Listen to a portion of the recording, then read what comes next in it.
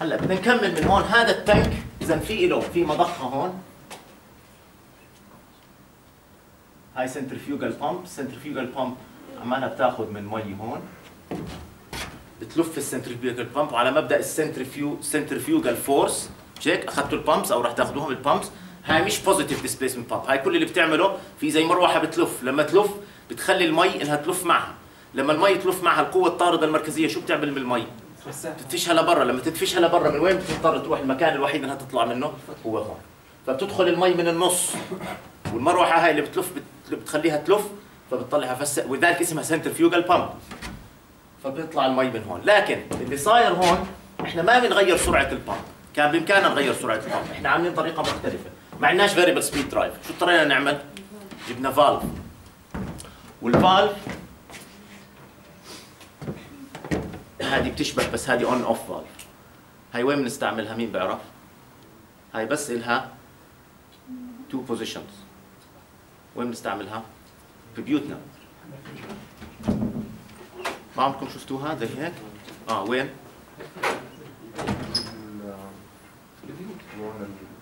آه وين في البيوت؟ إيش بنستعملها بالبيت؟ بس on off إذا بدك اون اوف مثلا عندك غسالة أو شيء بس بدك تعملها on off فهذه ال valve اذا بتطلع هلا بمررها عليكم بتطلع هذه on off هاي ما بتنفعنيش هون. لأنه ما بدي أعمل أنا بس اون اوف إيش بدي أعمل؟ proportional proportional valve فهاي ال valve ما بتنفعني. إذا بتطلع من هون راح تشوفوا هاي بتلف بس 90 درجة. ال positions المسموحة فيها يا هذا ال position يا هذا ال position بس. هلا أنا ال- اللي بدي احطها هون راح نحط إحنا proportional valve شو ال proportional valve في لها positions كثيرة ما بين ال fully open وال fully close زي مثلا الحنفية. مش الحنفية بقدر أضل أفتح فيها وبتزيد بتزيد بتزيد. أو بسكر بسكر بسكر. مش هيك؟ okay؟ هذه اذا اسمها on off valve بس إحنا اللي بدنا إياها proportional valve اذا رح نحط إحنا هون لأنه ما عنديش variable speed drive على فكرة لو عندي variable speed drive شو كنت بعمل في ال pump بغير سرعتها. وإذا غيرت سرعتها شو بتغير معي؟ فلو ما بحتاج valve ما بحتاج proportional valve اذا هون إحنا رح ناخذ من ال pump هذه رح نحط على proportional valve وال proportional valve رح تنزل عندي. المي هون هلا هاي proportional valve في لها عدد هائل من ال positions ما بين zero وواحد. واحد اللي هي fully open وهذه هون fully close لكن ممكن هي تكون 10% open ممكن تكون 20% open ممكن تكون 30% open إلى آخره. من صفر من fully close ل fully open فإحنا هلا السياسة تبعتنا راح تكون. ال pump هاي شغالة باستمرار. لو ال pump تركتها بدون valve راح تضخ كمية معينة. لها كمية معينة من ال flow. in in cubic meters per second بال volume. لكن أنا ما بسمح لكل هذا ال flow يمر. شو بصير أعمل في ال pump في- ال valve؟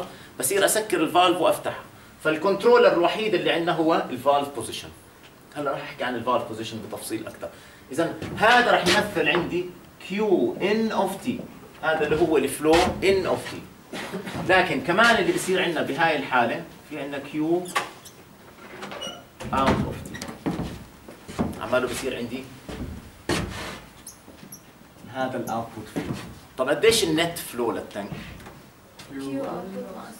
Q input minus Q output يعني إذا بدنا نحط هون Q net of t ك input يساوي Q input of t minus Q output of t هدول كلهم وحدتهم إيش؟ cubic meter per second لازم يكون لهم نفس الوحدة. بصيرش أجمعهم وأطرحهم إلا إذا لهم نفس الوحدة. إذا إحنا عمالنا بنقول إنه هذا ال tank طيب إذا كان هذا أكبر من هذا شو راح تكون هاي الكمية؟ positive وإذا كانت positive إيش راح يصير في مستوى ال tank راح يرتفع. وإذا كانت هاي أصغر من هاي أو هاي مطفية مثلا راح تكون هذه الإشارة هون إيش؟ negative وإذا صارت negative شو بصير مستوى المي؟ بصير تنزل. اذا هاي السياسة استراتيجية التحكم عندنا. إحنا بدنا نحافظ على مستوى المي بال tank ففي عندي أنا ال control variable ال variable اللي بدي أتحكم فيه هو h of t و h of t variable اي طبعا constant فأنا بتحكم بمستوى ال tank مطلوب مني أجيب ب level معين في لحظة معينة. هلا اللي عم بيصير إنه مستوى ال tank عماله مستوى المي عماله بينزل بسبب خروج المي وهاي مفتوحة ال valve. رح تضلها مفتوحة طول الوقت. رح نتركها مفتوحة ما رح نغيرها ولا رح نغير ال setting تبعتها. في هون عماله بناخذ flow معين في flow معين عماله بيطلع. إحنا بدنا نعوض هذا ال flow اللي موجود هون عن طريق flow موجود هون. وراح يصير في عندي set value هلا اللي راح يصعب الأمر إنه أنا مش constant في عندي step مستمرة عمالها بتتغير فمرة بطلب ارتفاع بال tank يكون واحد ونص متر. هل بيقدر يوصل واحد ونص متر؟ لأنه أقل من اثنين مش هيك؟ أو بدي أنزله لنص متر. فال set value راح يصير يختلف ما بين أو يتغير ما بين 0.5 اوفر متر 1.5 اوفر متر فكأني إيش عمالي بدخل على ال system؟ آه يعني كأنها series of إيش؟ مش pulse اسمهم steps كأنهم series of steps هي positive step بعدين بعد فترة بدخل له negative step بعدين برد بدخل له positive step صعبة مش هيك؟ بدنا نضلنا نتحكم فيه باستمرار بدنا نضلنا نتحكم فيه باستمرار بدنا نضلنا يعني هو طالب مني إنه مستوى المي مرة يكون نص ومرة يكون واحد ونص وهاي أظن إنها هون 10 second.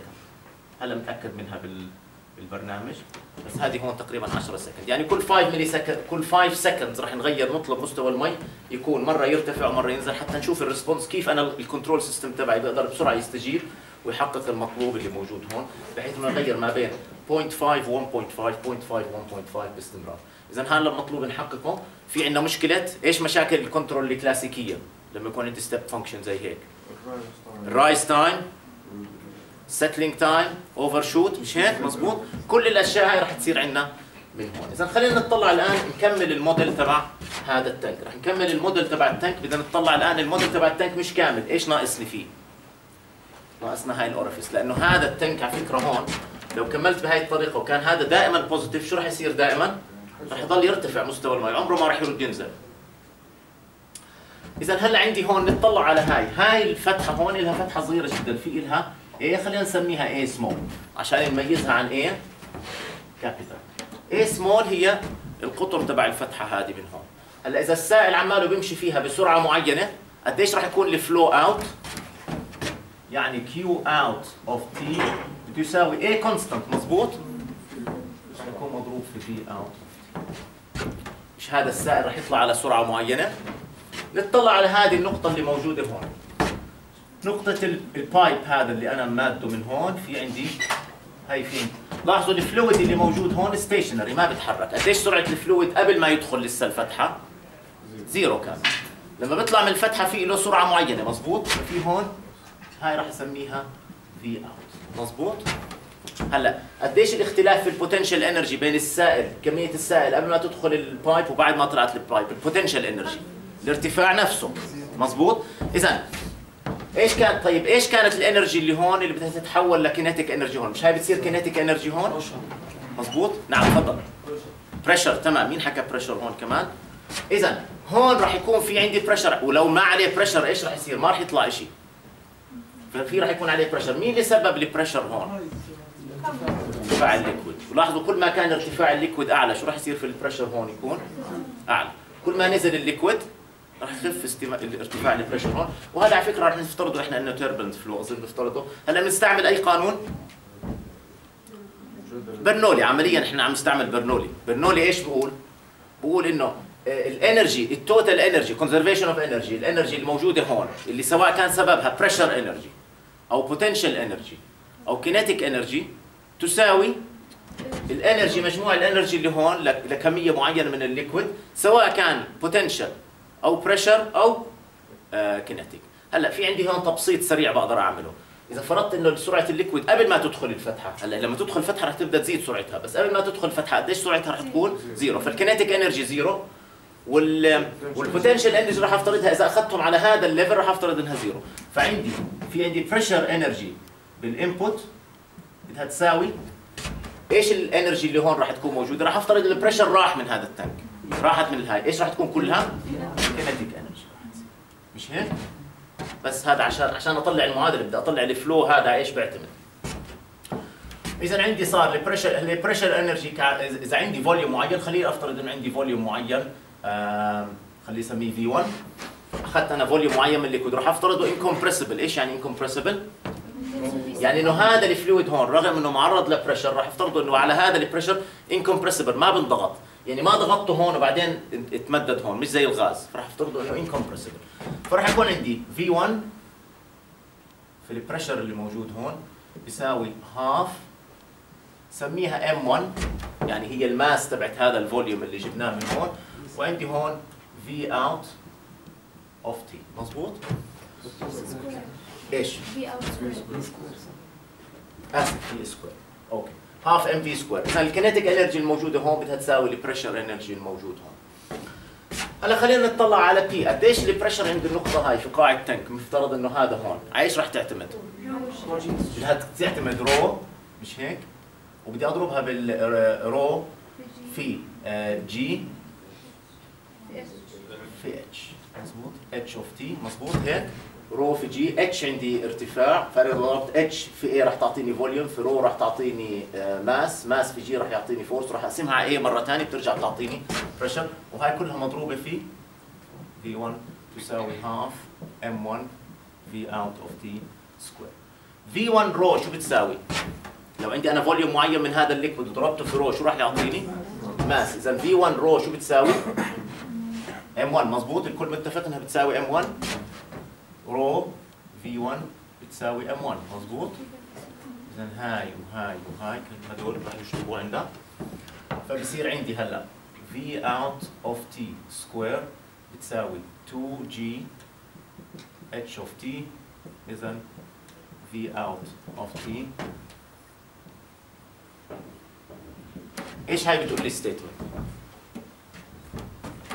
إيش استفدنا منها هاي؟ طلعنا ال output speed تبعت ال fluid ال fluid اذا ال fluid اللي بيطلع هون مش constant مش هيك؟